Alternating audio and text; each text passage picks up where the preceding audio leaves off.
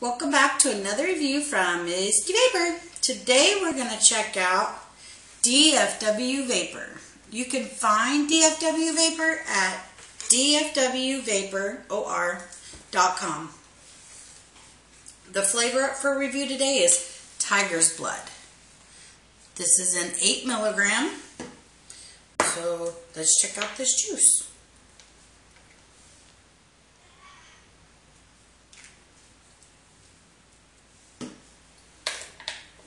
I really must say I love these bottles. They're easy to squeeze the juice out of. Sometimes you get them and they're hard. This you have absolutely no problem with. So here we go.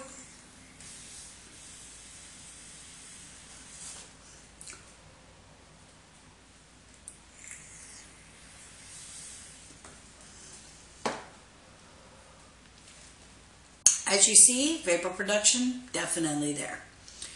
Throat hit, it's really nice, it's sweet, and it's creamy. You feel it all the way down your throat. And even after exhale, you still have this lingering creaminess in your mouth. Now, flavor profile. This is a strawberry with a strawberry cream with a nice amount of coconut. The coconut you mainly get on exhale. You get the strawberry cream on inhale. Would I recommend this flavor? Absolutely. I cannot wait to vape this bottle before hubby gets his hands on it. Love you, babe, but this one's mine. So in my opinion, this juice is definitely a yummy